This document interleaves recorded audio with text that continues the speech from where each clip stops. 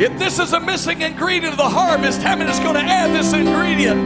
Many is going to add this ingredient to the harvest? Man, I'm going to water some seed. Come on, anybody going to water some seed?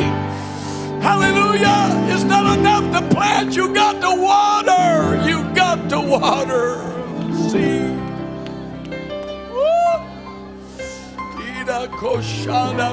Sandaya. Hallelujah. Hallelujah. Hallelujah. Ah. Praise God. Praise God. Praise God. Reach over and grab a hand and hold it up right now in Jesus' name, my God. Oh. There's some people never gonna be the same after this. There's some of you is not gonna be the same after today.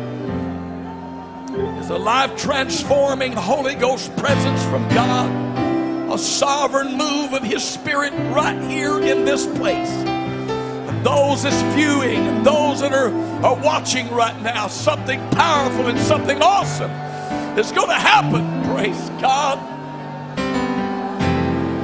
Woo!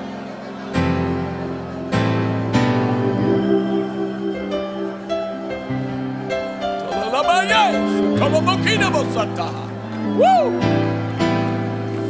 Holy Ghost!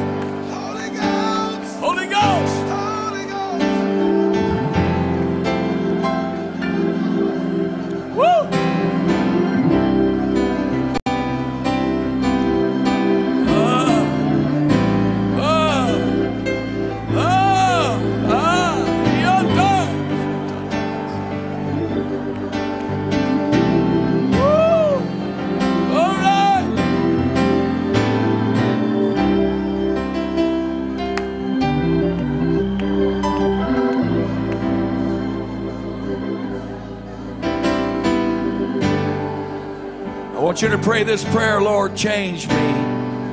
Lord, transform me. Lord God, raise your hand and say, Lord, use me to water the seed. After I have planted, there must be that water.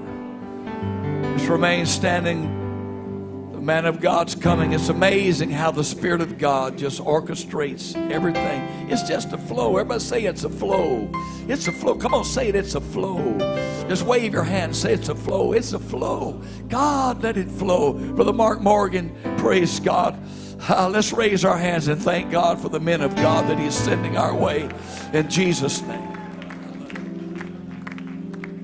Praise God. Well, the presence of the Lord is here. Amen. The Lord's talking to us and started last night. And I concur with Brother Dylan. There's a flow. And uh, I don't want to do anything to hinder that or to um, try to change the direction of it. Amen. God is a God of pretty strong system and there's an order to God, find that and flow in it. Amen. Uh, I, I come in just a little apprehensive today, and I went down to Brother Shatwell and asked him to pray. Uh, first of all, do not want to be misunderstood today, and Brother Shatwell was made the reference to me. He said, "Well." Scripture talks about that he's a God of love, and then he's also a God of a consuming fire. It's the same God, but two different aspects of him. And so I want to continue in the vein of this. And uh, but I just ask you to open your spirit and let the Holy Ghost really speak to us what it wants to speak to us. And hopefully I won't be misunderstood. Amen. I pray the Lord open our understanding here today. Our understanding. Romans chapter 8 and verse number 28. I appreciate and have great respect and love for Brother and Sister Dylan. Amen. These are some of the most gracious people on the face of the earth. And I sincerely mean this that my life was certainly enriched when, uh, when our paths crossed several years ago. They have been great friends to us, and I appreciate them and their family. And I appreciate this meeting and what it's meant. It's a highlight for me to always come. If I didn't speak at it, it'd still be a highlight to come for what it means and the intent of it. Amen. And I'm glad to have some of our Western District co-missionaries here today. Amen. Get them from the West Coast. Amen. God bless them. In the name of the Lord. Amen. Romans chapter 8 and verse number 28.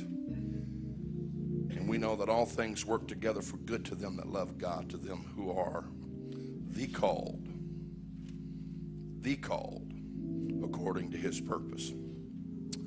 For whom he did foreknow, he also did predestinate to be conformed to the image of his Son, that he might be the firstborn among many brethren. Everybody said, Amen.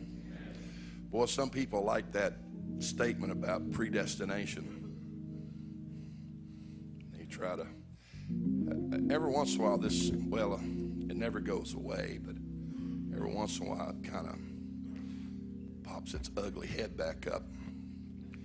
Had a man here a while back come to church, and he was trying to go through the church telling everybody that uh, about predestination and an old, old doctrine, I'm sure all of you have heard it's called serpent seed doctrine,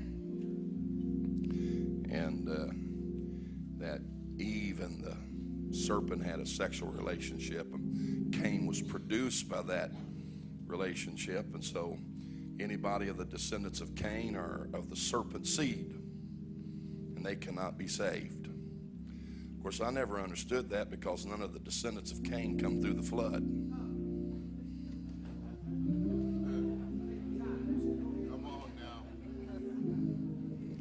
That settled that pretty easy right there.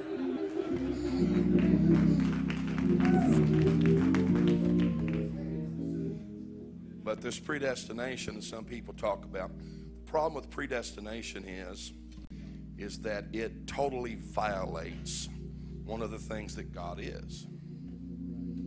God is love. And love comes down to nothing more but a choice. How could he be a God of love and not give you a choice? And so the doctrine of predestination destroys that God is love.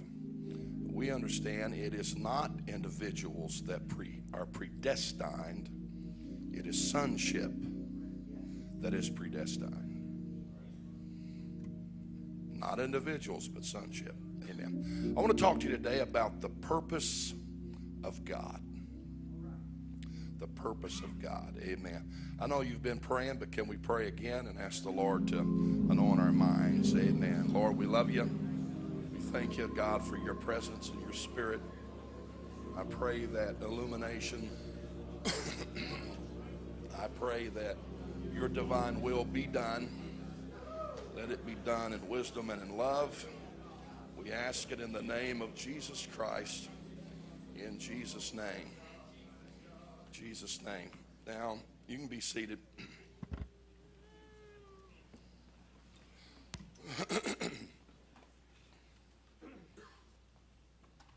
I ate some cereal this morning.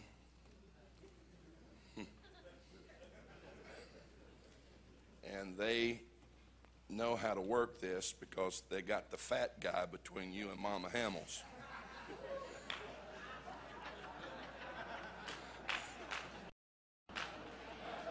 So,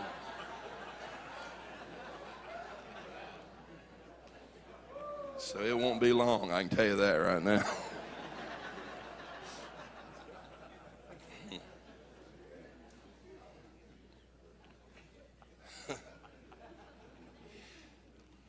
How many are familiar with GPS?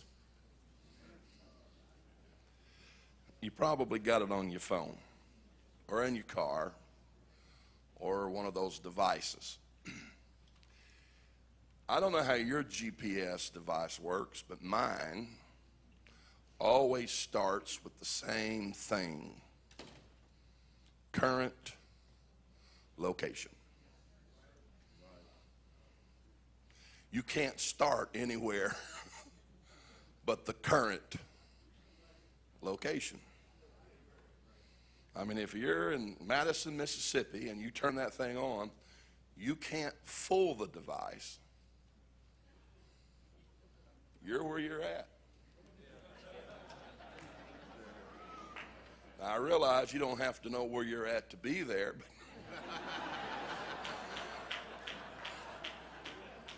but you're here. Most GPSs, the next thing that it asks is destination. Now, the way it's supposed to work is you are supposed to know where you're going. And you just can't put in there any destination. Wherever you want to take me. Now, I realize that you are supposed to trust the device. This is profound. Now, there's been a few of them got me lost. but I can promise you this God's GPS knows how to get you to his destination. I feel the Holy Ghost. You have to trust the device. And I'll just tell you, sometimes it said turn right, and I wanted to go left. I don't mean liberal left.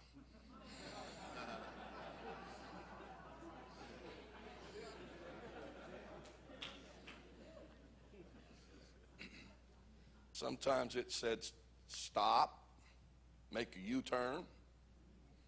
I know none of you's ever had that. All of you are such in sync with God that every day of your life it's just total obedience. I've even had to have God a few times put a policeman in my way.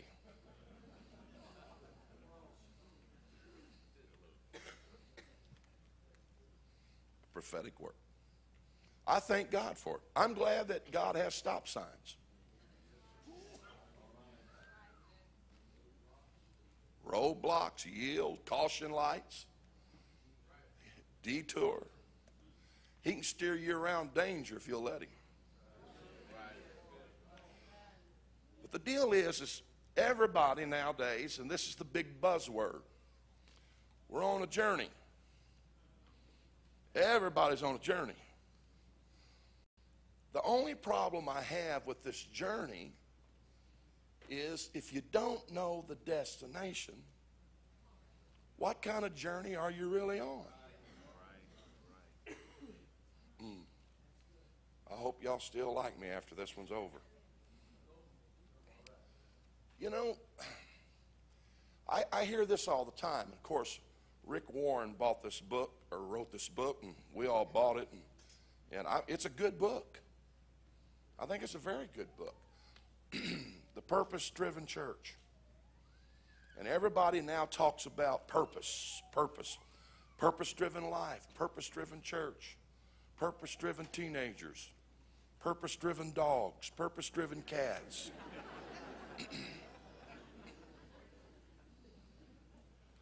and what I'm seeing is, I'm seeing a tendency among us to get so consumed in what we perceive to be the purpose. But I'm asking us a question today. What is the real purpose of God? Hmm. I didn't ask what your purpose is. What is the real purpose of God? What is God more interested in for you than anything else? I had the Lord ask me a question a few months ago, and it just really rattled me strong. just one of those days, just kind of talking to him a little bit, and, and he asked me this question When people see you coming, what do they know you for? What do they know you for? Here comes Brother Morgan. I've, and please don't misunderstand this. I've been introduced a lot of ways, and Brother Morgan, he's on the cutting edge of revival. Brother Morgan, he's a visionary. Brother Morgan, and uh, normally we put men and associate them with what we perceive their purpose. Is this making any sense right now? Purpose. But we need to stop and ask ourselves the question what really is the purpose of God? All things work together for the good to those who are called, the called. So when God called you, He called you to His purpose.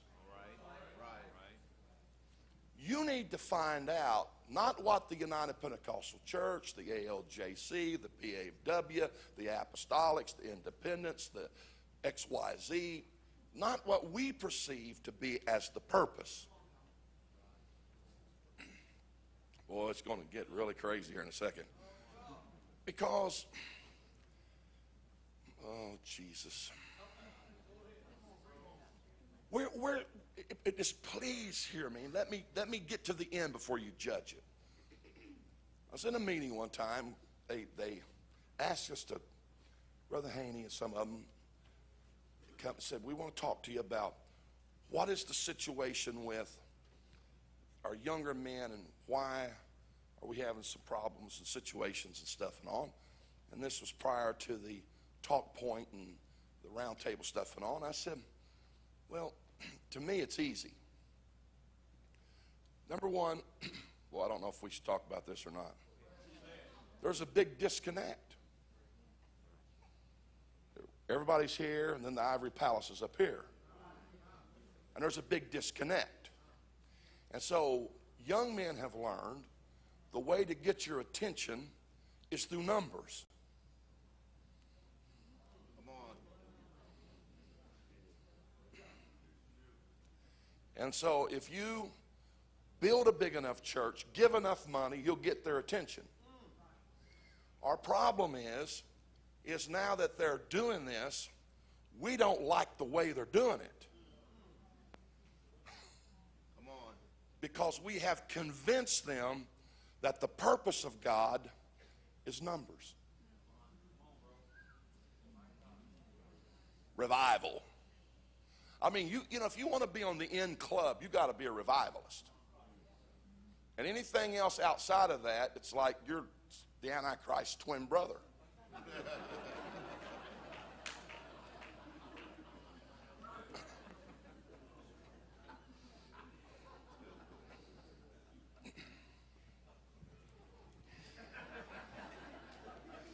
Some of you are getting really nervous right now.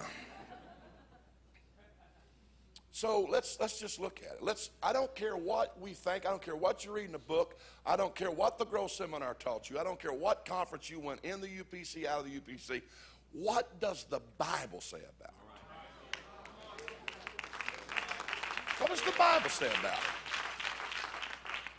Oh, let's drop the bomb. This sonship business is a lot bigger than we think.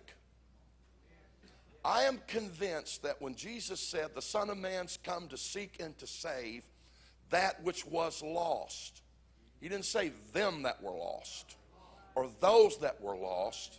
He said that which was lost. I am convinced that which was lost was sonship. It was Adam with God as his son, walking with God in the cool of the day tending the garden, fellowshipping with God, tremendous dominion and authority and power. It was given to him. This is what God wanted. We need a revelation of what God really is after. Not what we think He's after. Do you really think that you're going to stand before God and just tell Him all your accolades and that's going to, that's going to impress God?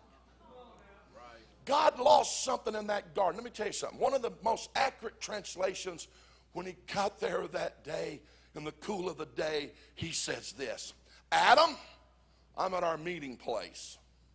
Where are you? Because every day at that meeting place, a father and a son come together. And there was fellowship and communion. And Adam was seeing his father. This is what the Holy Ghost is trying to reveal to us. I don't know where I ought to go here. You know, a few months ago, just one of those other times, you know, why have you prayed to me wrong? And I was like, what do you mean? You approach me wrong. I'm not your employer.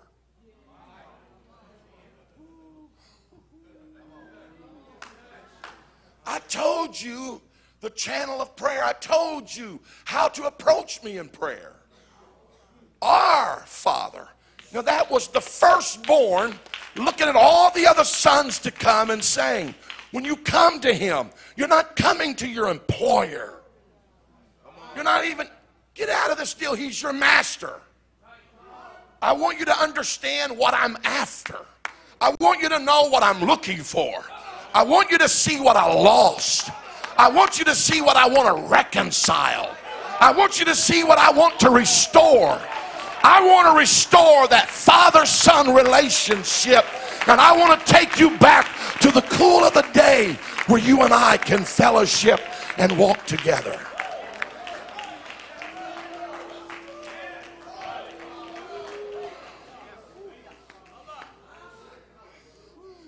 Get ready.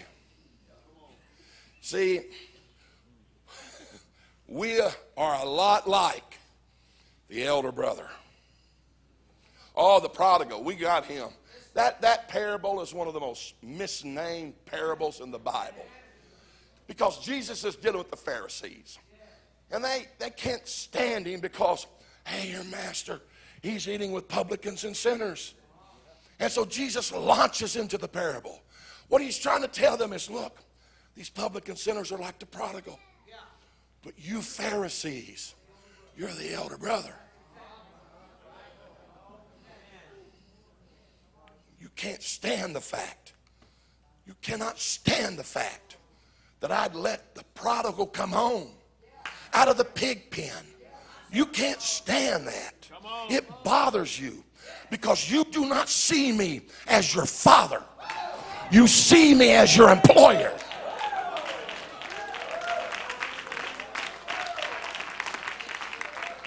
Yeah.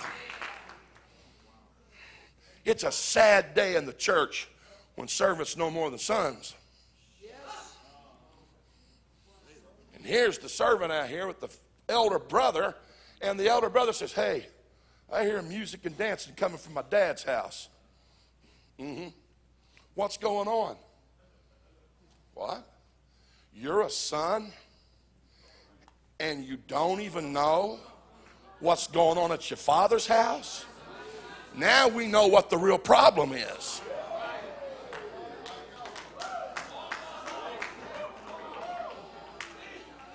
And see, most of us only have this servant mentality, this employee mentality. Oh, I'll make it real plain here in a second where you can understand it. And this is the way that we approach it.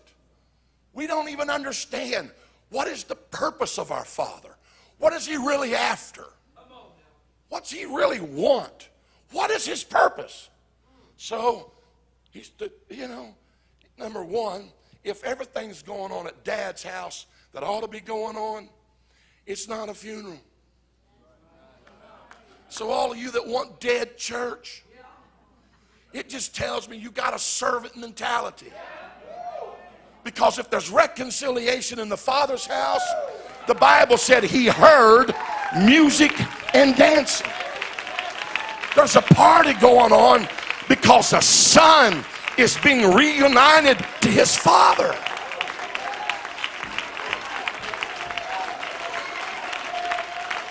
An employee didn't come back to the incorporation. I mean, even the prodigal missed up in his hand. I'll just go back to my dad's house and be a servant. Now, watch him. For even servants in my father's house have more than they need.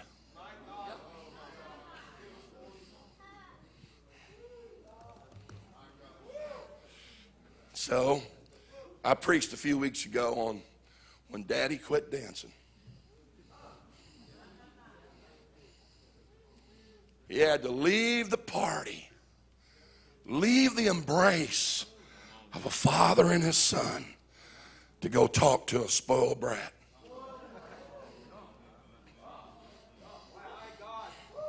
What's wrong, son? Gucci, Gucci, goo. Tell daddy what's wrong. Now, watch the boy. Listen to me, watch the boy. Because more than likely, if you're honest here today, you along with I will see yourself. All of these years have I served thee. You never killed me, a fatted calf. You know what that boy just told his dad? I punched the time clock. I put my hours in. You owe me something, and you didn't give it to me. And his dad said, What? All. Fear not, little flock. It's your father's, not God, not your master. It's your father's good pleasure to give you the kingdom. Son, everything I own is yours. You're not a servant, you're a son. You own everything on this farm. Why do you think you have to earn something?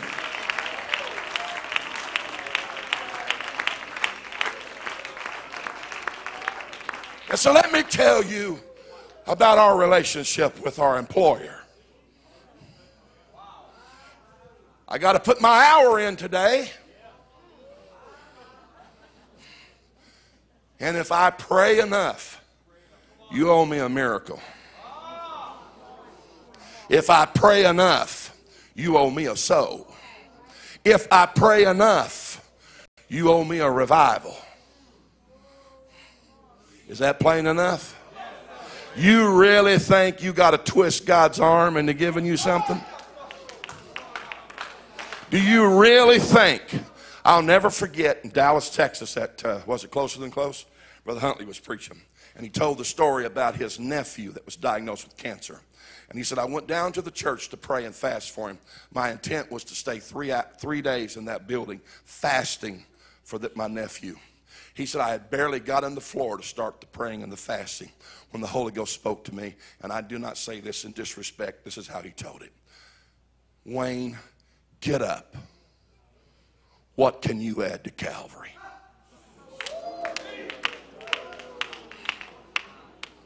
See, we've got a really mixed up ideal about the relationship with God. We approach him as our employer or as our master. He doesn't want an employee, he wants a son. He wants a son. And I can promise you one thing anything you got belongs to that boy and Jeffrey. He don't have to come here. Why do you think, and I've told you this before, why do you think God's so tough on a man that will not provide for his own household? Because that man is violating the very nature of God.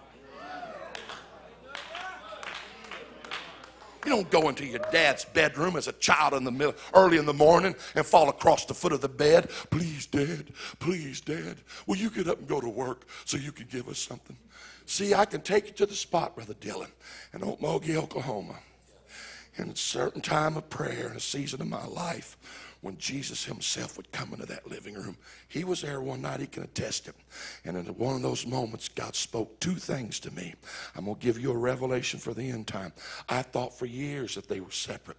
I want to show you the other side of the oneness revelation. My people understand the mighty God in Christ, they understand Jesus Christ, but they do not understand the mighty God in them. They only see sonship in one aspect Jesus as the Son of God, but they don't see themselves as sons of God. And I want you to teach that to my people. And it has been, uh, let's see, 1990, 1991. How many years is that now? 24 year journey for me. And just the other day, it dawned on me. Because the second part of the revelation is, and I've preached it all over America, the children's bread. My perspective about the miraculous. When the Syrophoenician woman came and needed a miracle, I told her, looking at a miracle, looking at the miraculous, that's my kid's bread. He said, I view the miraculous as a father would view bread for his children.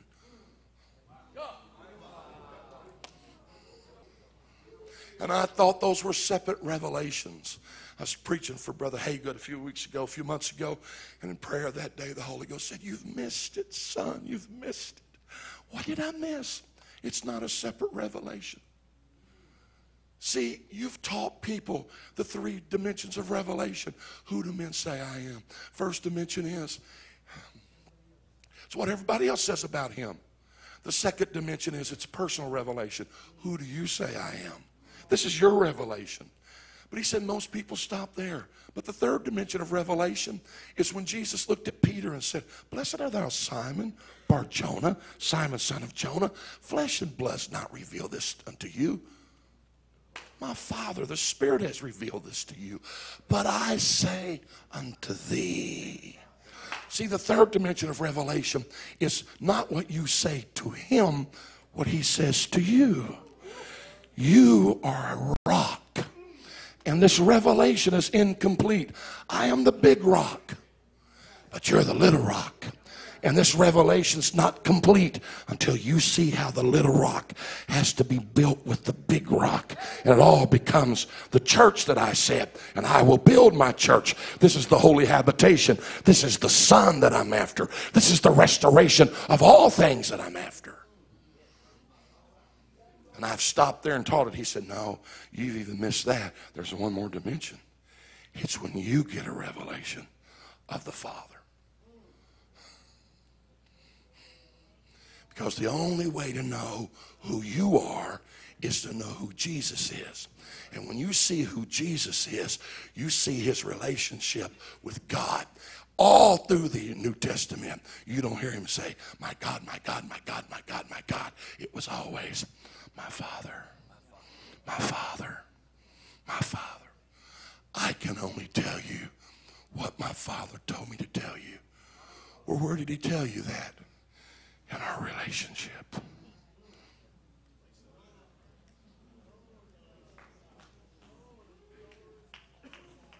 right.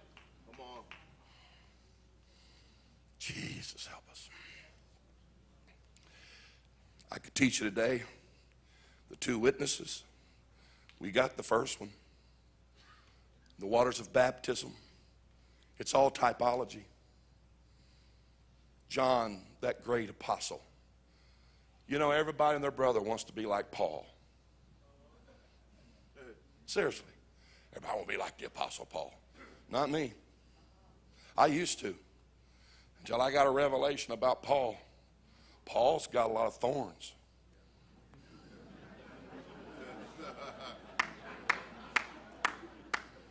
I sat in a restaurant the other day with the, with the pastor, very well known guy. We was talking a little bit, and the Holy Ghost moved. I said, Tell me about the night you prayed to be like the Apostle Paul. What? I said, Tell me about the night you prayed to be like the Apostle Paul. He said, Oh my God. So he started describing. I was in a motel and I was praying, and I ended up under the bed begging God, I want to be like the Apostle Paul. Give me the revelation of the Apostle Paul. I said, Well, can I tell you and help you something? He said, Sure. I said, Look back since that prayer and tell me what your life's been like. He said, What do you mean? I said, The trouble, the chaos, the battles.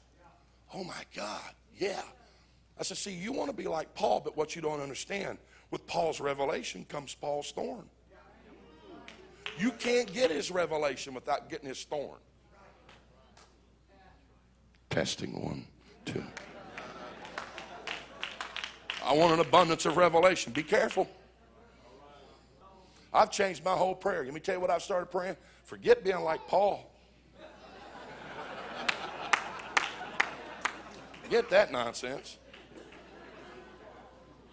Let me tell you why. Oh, Paul, he's a great man of purpose. Look at him, winning the world, the great evangelist, the great apostle. Mm-hmm.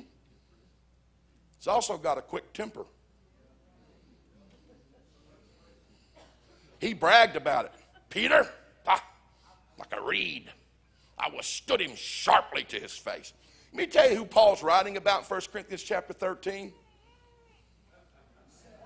He's writing about himself. He's writing about his spiritual immaturity. When I was a child, I spake as a child, I understood as a child. He told you what all that childish. Well, I'm fixing to wreck apostolic conference right here.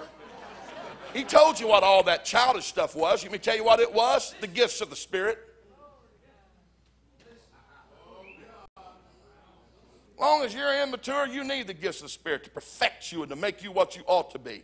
But he said, But when I become a man, I put away childish things. I didn't have to go to every conference needing a word from God. I didn't have to get my affirmation by my gift. He said, Let me tell you what you can do. He said, You can understand all mysteries. You can have faith to move mountains. You can have all that knowledge.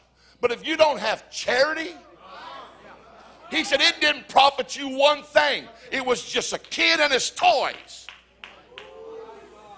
He said, but when you grow up and become a true man of God and a true son of God in maturity, he said, you don't need all that immature stuff. Now, don't leave here saying, my God, Brother Morgan's against the spirit. As long as there is spiritual infants in the church, there is a need for the gifts of the spirit. I believe in the gifts of the spirit stronger than I ever have. But I don't have to have them always operating for me.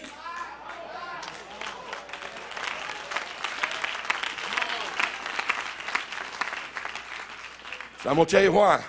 You listen to me. If we don't get this, because here's what it's about. This is what the Holy Ghost asked me. Do you want to be known for my purpose or my person? I said, What? When people see you coming, do they see somebody, oh, purpose, purpose, purpose? Or do they see me? Decide. Decide today. Because, in spite of what you think God's purpose is, Paul told you in Romans 8 for all things work together for the good to those who are the called according to his purpose. So he called you for his purpose. Read the next verse, it tells you what his purpose is. I've predestinated sonship. I look down through time and seen the restoration of the sons of God through the last Adam. And my purpose for you is to conform you into my image. And I'm going to make this statement. I've made it before, and some say that's almost blasphemy. No, it's not. If you get out of here where you're supposed to be, before you get out of here, you're going to be able to say the same thing Jesus said. When you've seen me, you've seen the Father. Because his nature bleeds through me. His image, you're looking at it. Whew. Let me help you something. What good is all this purpose and you on the cutting edge and all your bragging rights if you don't have the nature of Christ in you? What good is it if you can move mountains and understand mysteries and you can't even get along with another person?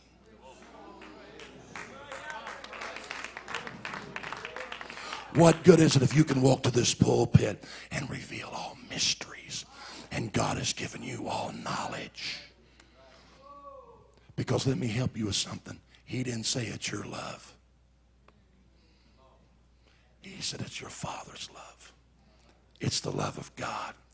And as long, Brother Dylan, as I'm connected to my Father, it's His love that flows through me as a son to the world.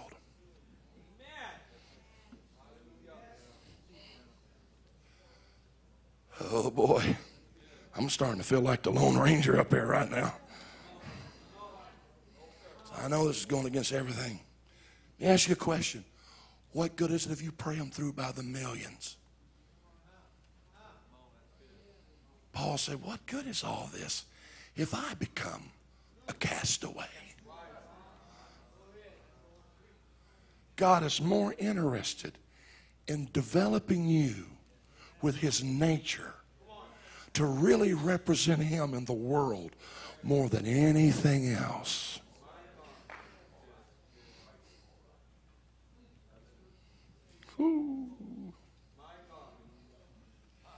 You know, will, will you give me just a couple more minutes here? See, we understand the first witness. There's two witnesses in every son's life. The first was in the waters of baptism. When John was baptized, Jesus, the heavens opened, the Holy Ghost come descending like unto a dove, and the voice of the Father spake. What happened to you when you become a son of God? You was in the waters of baptism, the Holy Ghost came, and there's a spiritual utterance. The spiritual utterance is just bearing witness. What do you think it meant when that voice said, This is my beloved employee?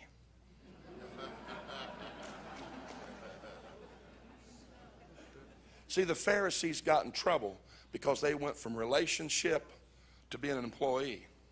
Works. Every son knows his dad's got rules. Every son knows by relationship, but he doesn't keep them rules because he's afraid of his dad. Now, in his spiritual immaturity, he does. And Paul even taught about to the Galatians what's wrong with you people? You're supposed to be maturing beyond all this, but you're going back. You're going back to the beggarly elements of the world. You're trying to go back to the law. Well, what was the law given for? To the lawless, to the spiritual immature. Paul taught that Israel was the immature son. Boy, it's getting quieter and quieter and quieter. He told us that. And as long as he's immature, he doesn't differ any more than a servant. And as long as we stay in spiritual immaturity, we stay in the mindset of a servant. And it's a servant that's got to have rules. Let me help you something, okay? John Mark's 20, and when he was about, I don't know, three, four, was out one day playing basketball in the front yard. And I told him, I said, now, John Mark, if the ball rolls out in the street, don't, don't go after it. Let the ball go. I'll go get it. And one day, the ball rolled out, and he went in a car come by. I mean, it wasn't like serious, but it just enough to kind of rattle you a little bit. And, and, and, so I grabbed him, I shook her, I said, I told you not to do that. Now, some people say, especially in California, oh my God, that's child abuse. Well, what would you rather happen? Igmo, what would you rather happen?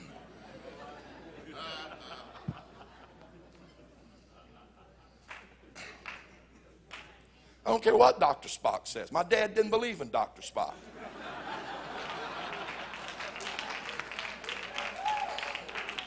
I give you a timeout. They, didn't believe in timeouts back then. They knock you out, they didn't give you a timeout. Sitting in church, they didn't look at you when you get home, you're going to get a timeout. No, they didn't do that kind of stuff back then. Let me tell you what they did do, though. Sitting on the second row.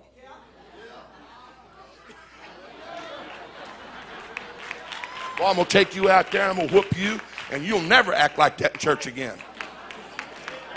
I think we need to remember to those he loves. Don't give you a timeout.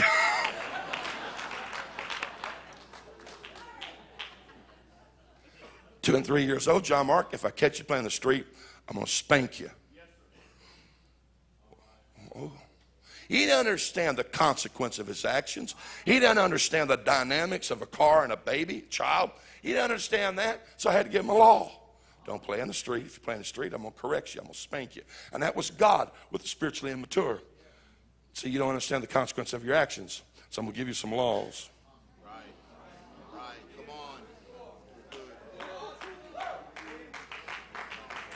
Now he's 20 years old. You know, as a kid, we're driving around and we're in the car or something. And There's a cat out in the middle of the street that wasn't quite quick enough.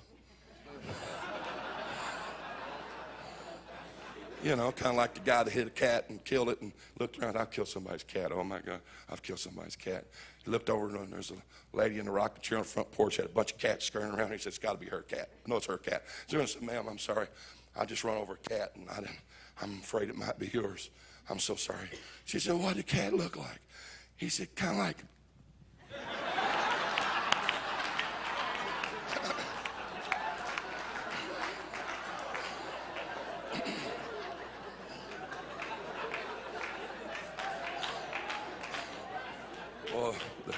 I just made enemies with all the cat lovers here in the building. Hope Peter don't show up here today. Now, okay, John Mark. See, son, that's what I'm trying to tell you. See, that cat was playing in the street, and its daddy cat said not to play in the street, but it played in the street. You see how that looks? That's what you'll look like if you play in the street. Really? Oh, oh, yeah. Daddy don't want you to look like that. See, now his mind's starting to comprehend. He's putting two and two together. See, people that constantly got to have somebody preaching the law, the law, the law, the law. All, all you're telling is immature. And we need it. Immaturity in the church, three levels, all that. We need all this stuff. But where do we grow up? See, Jesus got it in the waters of baptism. What do you think when he comes out, the first attack? Are y'all getting bored? Okay.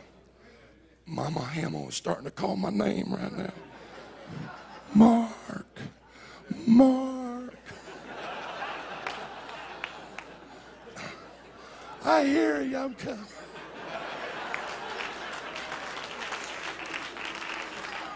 It'd be kind of like,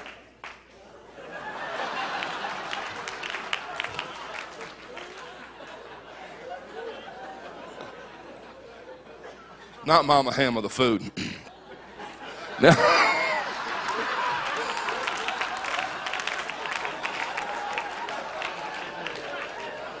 is she here today? Oh, thank God.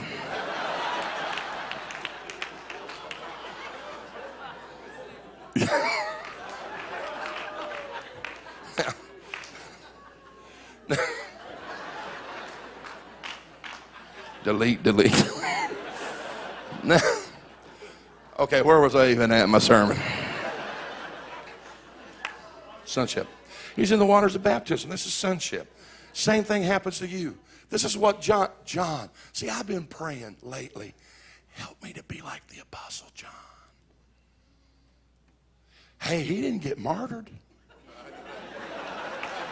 Now, he got the pot of oil and all that, Patmos, but he, he died a natural death.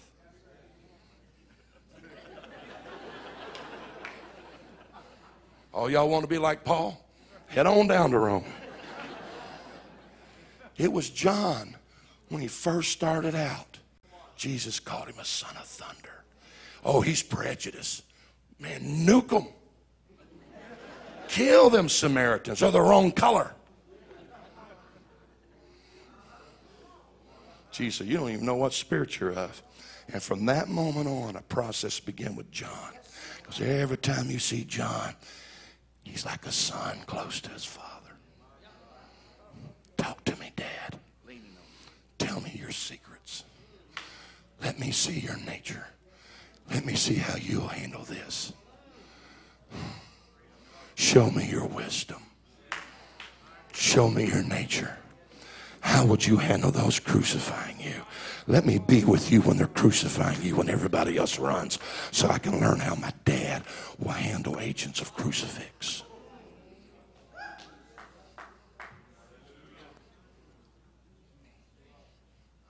So this is what John says.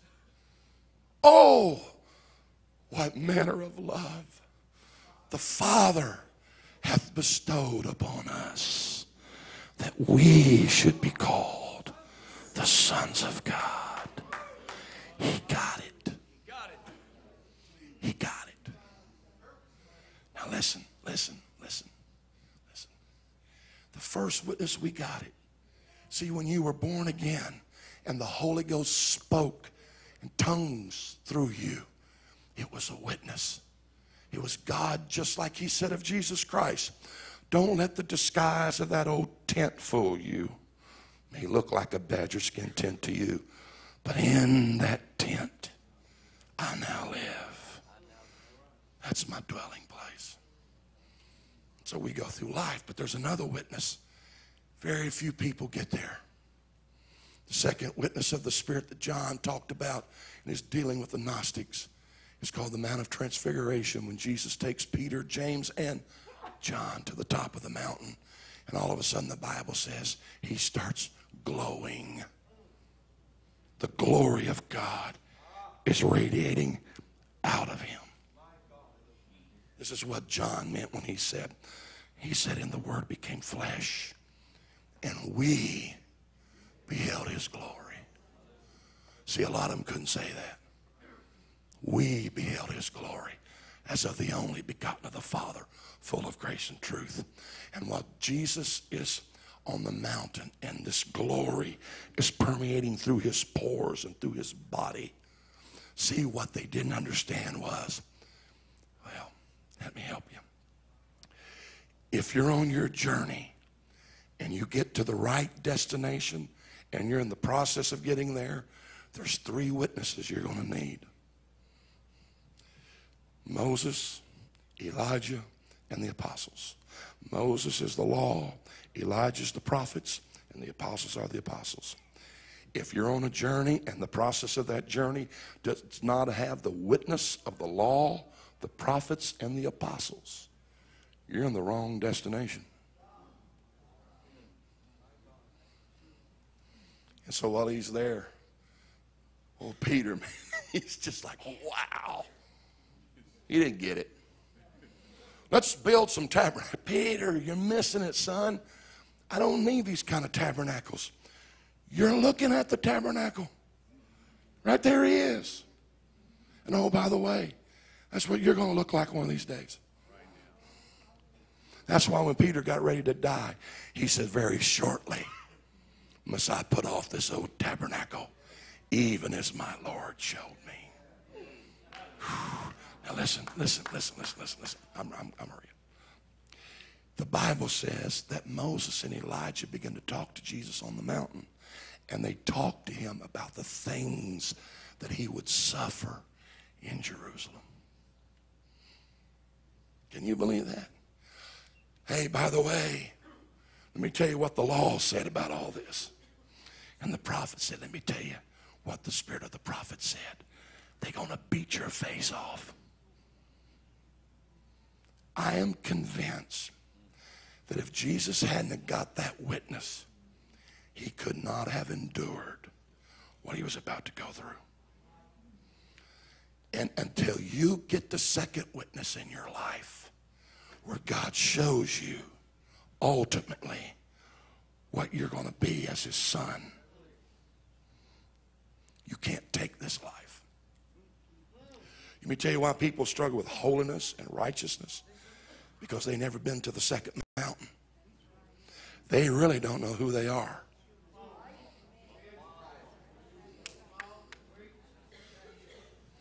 See, I'm going to tell you something as you listen to me. You cannot endure the, the pressure of your city. You cannot endure the pressure of life until you get to the top of the second mountain. And God says, I need to show you something beyond this life. I need to show you what this is really all about.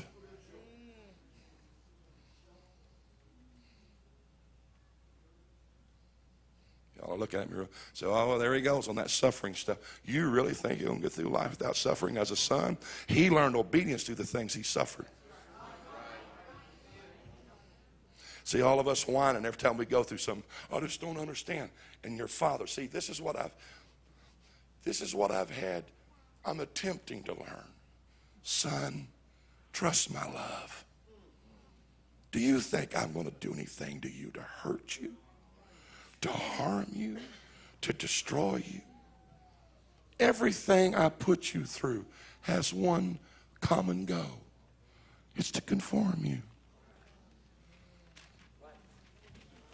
But if you don't get that on the mountain, then it becomes too stressful. I'll tell you this, and passing and I'm hurrying to close. Paul says, he gets talking about all this stuff, and he says, Well, this light affliction You got to be kidding. Here's Paul. Okay, all you Paul people out there, listen. He said, This light affliction, light affliction, shipwreck, left for dead, stoned, beaten, false brother, false countryman, imprisoned. And you call all of that a light affliction? Now, here's what tickles me about North Americans. They stub their toe in the morning and they're going through it. Oh my God, man. Jesus is really tough on me today. I hurt my toe. I was on the phone yesterday with people that's lost a son and a reprobates moved into their city trying to build another church across town, taking their people, and it would not stop. It has been nonstop, nonstop, nonstop. And the woman's begging on the other end of the phone, sobbing, Please, what's wrong with us? What have we done against God? Why is God so mad at us? I said, God's not mad at you. Where did that come from? Why have we had to go through this stuff? I said, let me tell you something. I can't explain all the things you have to go through, but I'll tell you one thing. You better understand and pray and beg God to give you a revelation of His love. Because it's not faith. It's not faith, because every one of you is going to be in a situation you might as well just kiss your faith goodbye. Are you listening to me? Because faith has an object. Faith has an object. I have faith for this. And when God's not doing it, Simon Peter, and it's not going the way that you thought it ought to go, then what are you going to do? That's when you got to remember that He said, Your Father said, I'm going to pray for you. When you're going through the sifting and you don't even know how to pray, my God. I cannot tell you the times that I have fallen in prayer, not even knowing what to pray, what to say. And my father said, Let me help you. And the great intercessor himself started praying through me. What do you think? Listen, there's this great battle between your flesh and your spirit. And what do you think? The whole eighth chapter of Romans, Paul's talking about it. And finally, he says, I know your spirit's been redeemed, but your problem is your body hasn't been.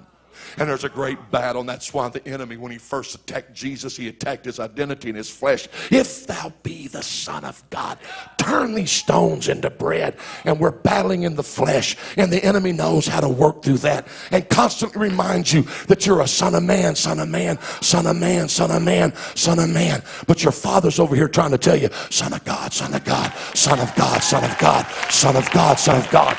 And as my son, I have given you something. It is called the great intercessor, and he knows how to pray the perfect prayer when I don't even know what to pray sometimes. Paul said, The Spirit itself maketh intercessions with groanings which cannot be uttered. And he that searcheth the heart knoweth what is the mind of the Spirit, because he maketh intercession for the saints. Watch him according to the will of God. And that's why in the end time, there's a great play about moving the Holy Ghost out of the church. Because the Holy Ghost is a gift from your dad. Matter of fact, Paul says, you can't even be and say Abba until the Holy Ghost comes and allows you to say it. Are we still here? Are you really here? So now the process begins. You've come through the water, and He's trying to get you to where it's perfection, His perfection in you. And all things now start working together for the good to those who are the called. See, He called you His Son. Son. See, when you were born again, you by the Spirit said, Father. And your tongues said, Son. You missed it. You missed it. In the Spirit for the first time, you were being reconciled to Him and being born again. And Paul said, That's why you say, Abba, Father by the Holy Ghost, you said Father. And when you spoke in tongues, it was the Spirit saying, Son.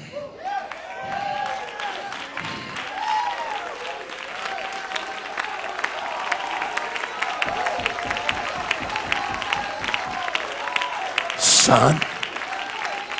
Oh, what manner of love the Father hath bestowed upon us. I'm closing. Watch this. That we might be called the sons of God. Watch him, he's not through. And it doth not yet appear what we shall be, but we know when he appears, we shall be like him.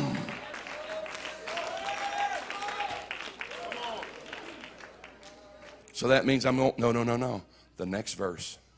Therefore, every man that hath this hope purifieth himself even as he is pure. So the Son looks at the Father and sees the purity and his love. And he says, Hey, that's what I'm going to be like when I grow up. And he starts a process. And God says, Okay, you need to work on that little attitude of yours. So I'm going to have a little problem in your church. And you keep saying, The devil, I bind the devil, I bind the devil. And God's saying, Careful there, it wasn't the devil that caused this. Well, that went over real well. Who you calling the devil? I'm doing this. And people betray you. And people lie on you. And people hurt you. And you want to go over here as the Son of Man and retaliate. But your Heavenly Father says, I need to talk to you about this. I want to show you how to handle this. If that doesn't work, just look what your elder brother did. Father, forgive them. For they know not what they do. They're only helping me in my maturing process.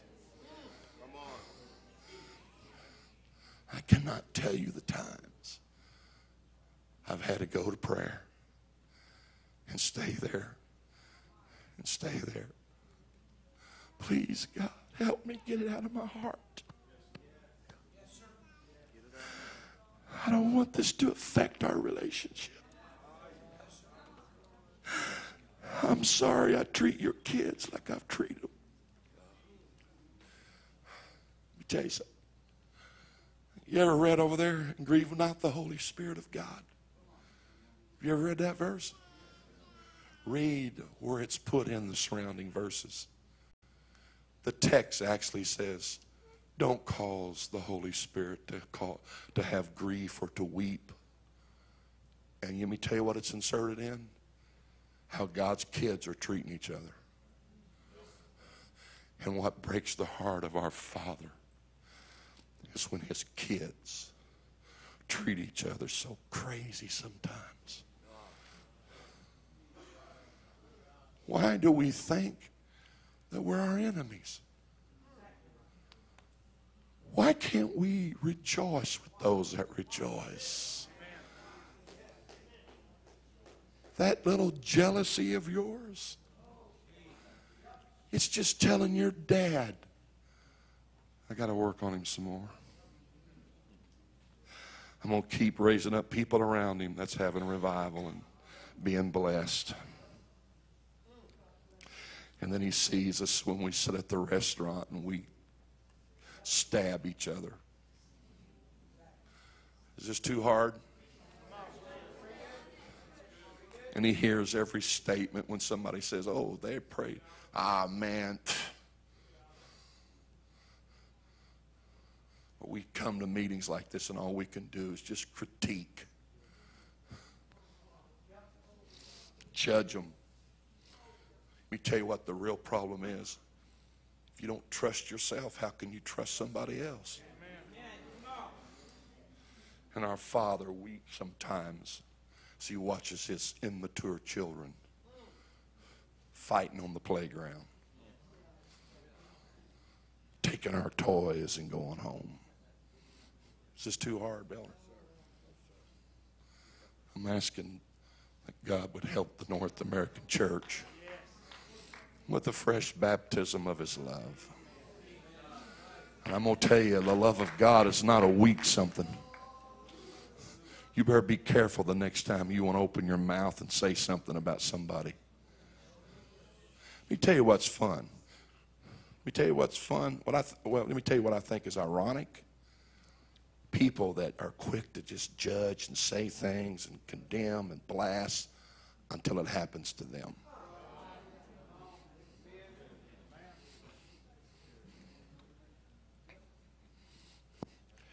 Well, if you only knew what he was doing, okay, maybe he's doing it. So what are you going to do about it?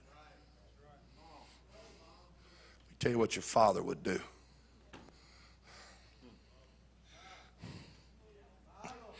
Simon, Satan hath desired to have you, that he may sift you as wheat. But I have prayed for thee.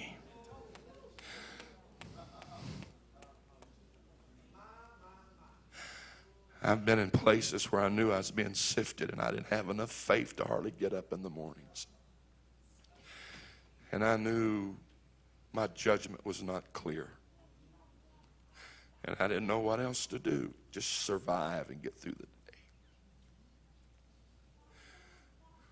But my Father, I have prayed for thee. That great intercessor called Jesus Christ prays for you. I don't know why we think we have to learn everything about prayer and we have to have great faith. Because if I ever really get it, he said, All I need you to have is just a little bit of faith, like a mustard seed. Because the life I now live, I live through the faith of the Son of Man. And as long as I'm in Him, I lack nothing. I lack no faith. I lack no ability to pray the perfect prayer. Because my Father, the last few days, I have felt it in prayer. I could see myself as a child bent over. I could see my father come over and wrap his arms in a protective stance. I'm going to protect you through the storm.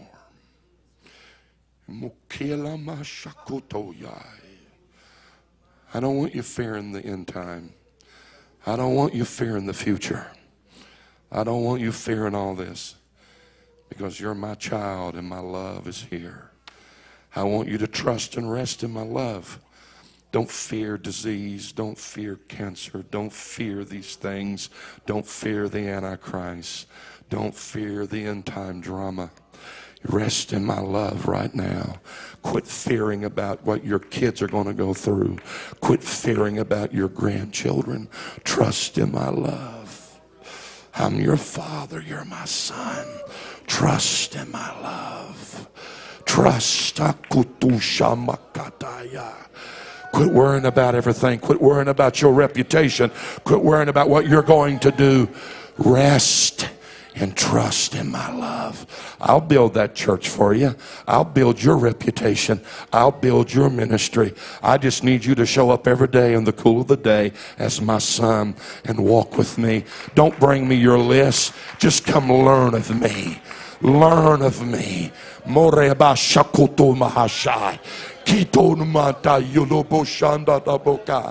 Let my love embrace you in the garden. Let it be the cool of the day where I bring refreshing to you. That's really what I'm after. That's what I want to restore. That's what I want to give you. I wish somebody right now would forget the pressure of life and you'd forget the pressure of trying to build a church and you'd forget the pressure of your purpose and your image. And I wish you'd just get lost in the love of your Father right now. Because trust me, if you don't get this, you cannot take the heat of the day and you can't take the future. But if you'll rest there, Jesus, even though the cross is before you, I'll let you see my joy. I'll let you see my love. I'll let you see beyond it. Mm.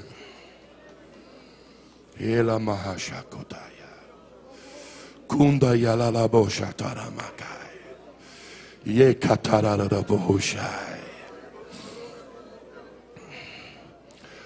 Why don't God's kids just pray for each other right now? That'd probably be a good place to start. Come on. Man to man, woman to woman, husband and wife, however. Do you not think I hold you in my hand? Do you not think I sife? Don't treat me like your employer like you have to earn something by your works. You're my son. You're my son. You're my child. Fear not, little flock. It's your Father's good pleasure to give you the kingdom. He'll give it to you. Just go on to your Father's house and enjoy the party. Oh, love of God, how rich and pure, how marvelous and strong.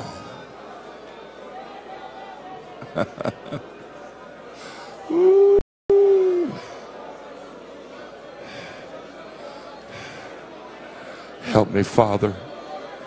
Help me not just to be seen as a person of purpose as far as life mandates it, but when people see me come and let them see my Father.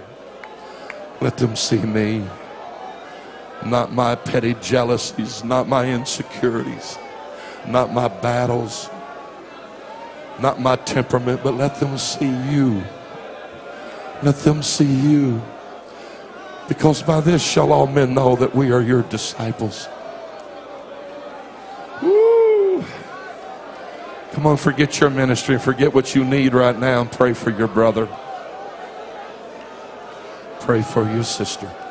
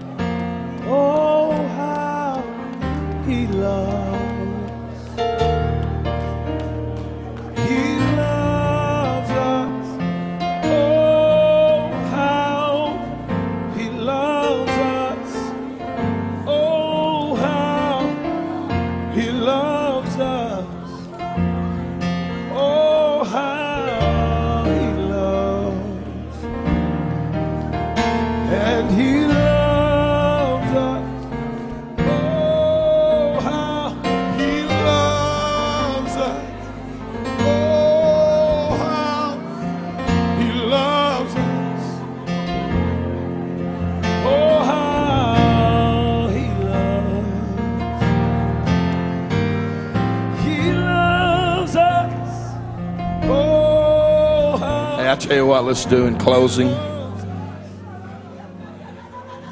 Number one, it's your Father's good pleasure to give you the kingdom. Miraculous is His bread to His children. I don't know what you come to this conference needing, what kind of miracle you needed. But let's just do one thing. Instead of begging or whatever, just if you want, a, you need something from God, just come to the front and just worship Him and love Him. You don't have to come up here and even beg or ask. Just, just come ask. Just, just come up here Lord, here I am. If your earthly fathers, being evil, know how to give good gifts unto their children, how much more does your heavenly Father give the Holy Spirit to them that ask? You just, you just, just tell Him this, whatever it is, just Father. It's just like a father giving bread to his child. Father, I, I ask you today, I ask you today, I need this, Lord. I don't have to beg you because I'm not a servant, I'm a son. And it's your good pleasure to do this. I'm telling you, some of you will be healed standing in this altar right now. Miracles will happen while you stand in this altar right now. Visions will come.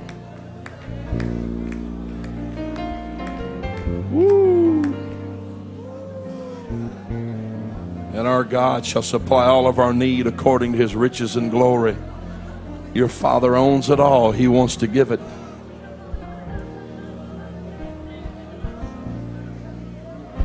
Mm. Yeah, I just love Him. Just love Him.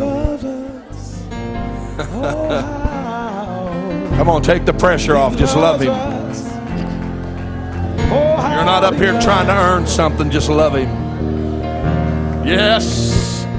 He loves us. Oh, how he loves us. Oh, how he loves us. One of the miracles going to happen is some of you going to realize He's your Father. Hey, He's my Father.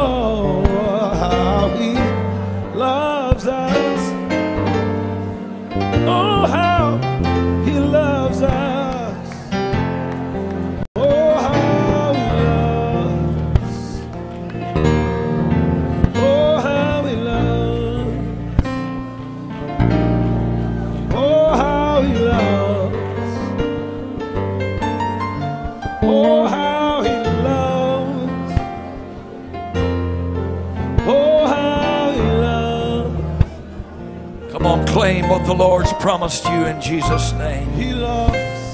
Claim what the Lord said belong to your peace in Jesus' name. Praise God. Thank you, mighty God. Thank you, mighty God. Thank you, Jesus. Yeah, living God, living God, living God, living God. Adobosai. You're my child. Ah. Oh, if you ask for a bread, will I give you stone? If you ask for an egg, will I give you a serpent? Oh, you're my child. Thank you, Father. Praise God. Thank you, Lord. Hey, Holy Ghost, I praise you, God. I worship you, Lord. I tell you, I glorify you and praise you. Jesus' name, we thank you, Lord, and praise you, Holy God. Let's reach over and grab another hand and hold it up in Jesus' name one more time, would you? Come on, right now. Let's let this word settle within our spirit. Let's receive this word deep within our soul.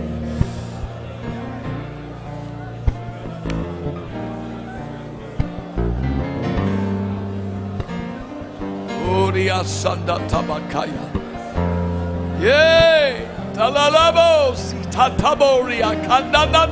Tataboria.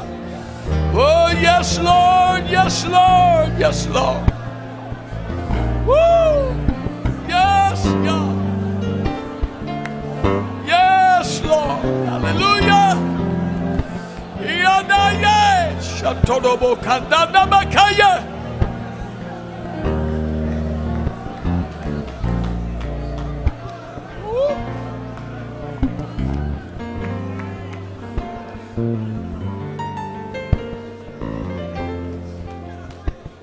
What would you do and how would you act right now? I said, What would you do and how would you act right now if all your prayers were answered right now?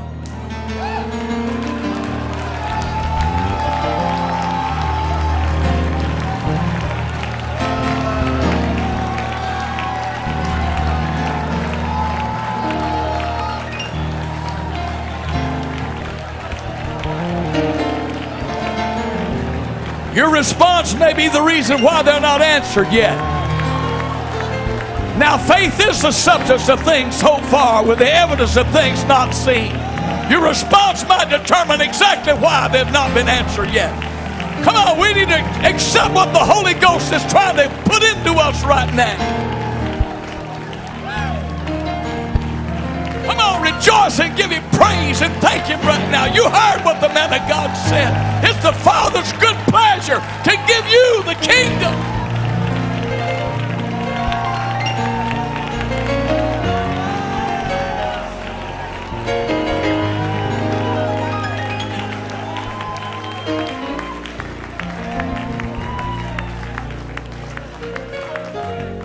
How many of you need a building? You need a building.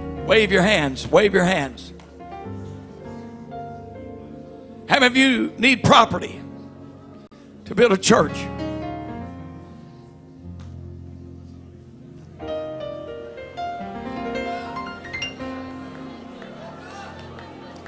It's the Father's good pleasure to give you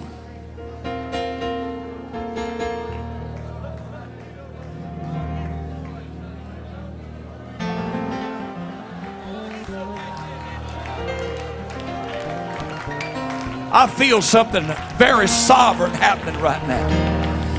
I feel something very powerful happening right now.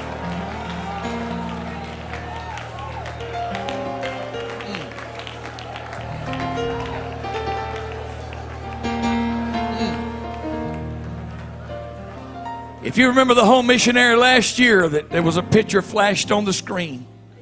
He was at apostolic conference. He needed a building so desperately. Driving back home as he came in the city limits of his town from this conference, he saw a group of people putting a for sale sign in front of a church, a beautiful church. He, he just wheeled in there and they said, We're just decided to sell it today.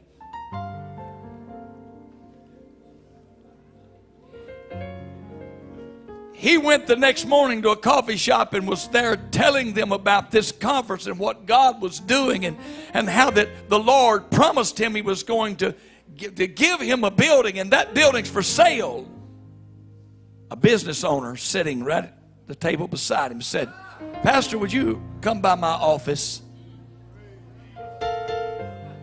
He went by his office, and that businessman gave him a check.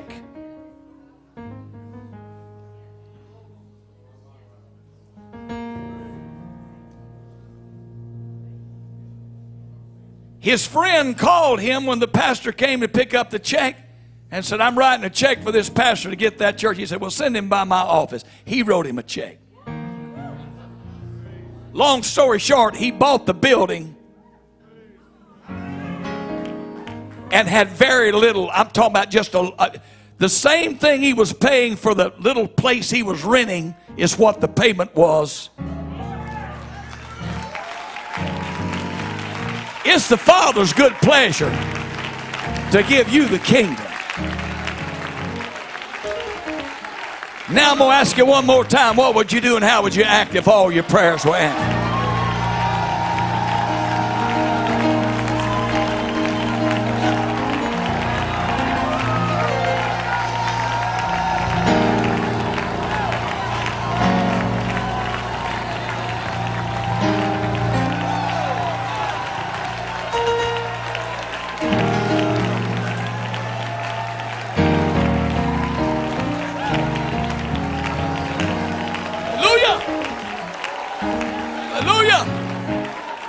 You need to walk in the building before you get it. You need to see the property before you step on it. You need to believe God for it and claim it every day. Speak it into existence. Because what you speak is what you're going to get. I believe that. In Jesus' name. In Jesus' name. Praise God. The buses are waiting. Amen. Tonight, Brother Lee Stoneking, it would be my advice for you to come early. Amen. Because